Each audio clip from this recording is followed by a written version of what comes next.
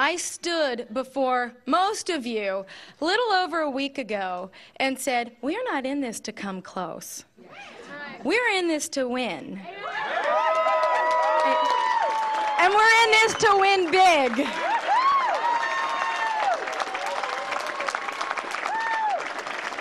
And win big we did. Don't ever underestimate the power of we the people.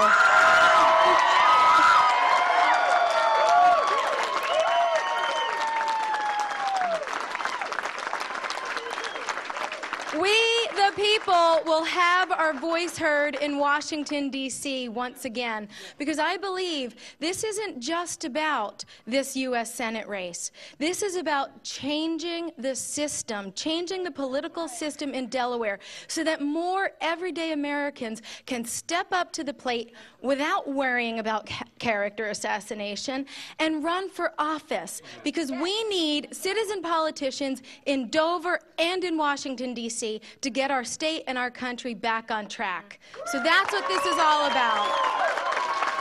So, as we go forward, I'd like to make the focus of this election about the issues how we're going to get jobs back in Delaware, how we're going to protect the security of our homeland, how we're going to take care of our veterans, how we're going to make sure that future generations are not saddled with a crippling debt.